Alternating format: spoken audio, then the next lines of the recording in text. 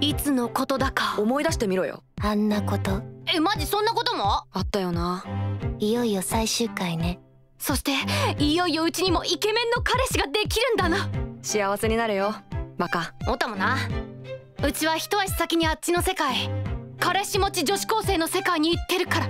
これは選別。ありがとうロボ。けど緑虫ジャムはいらないから気持ちだけ受け取っとく。お前のすごい話もっと聞きたかったよ。しょうがねえな。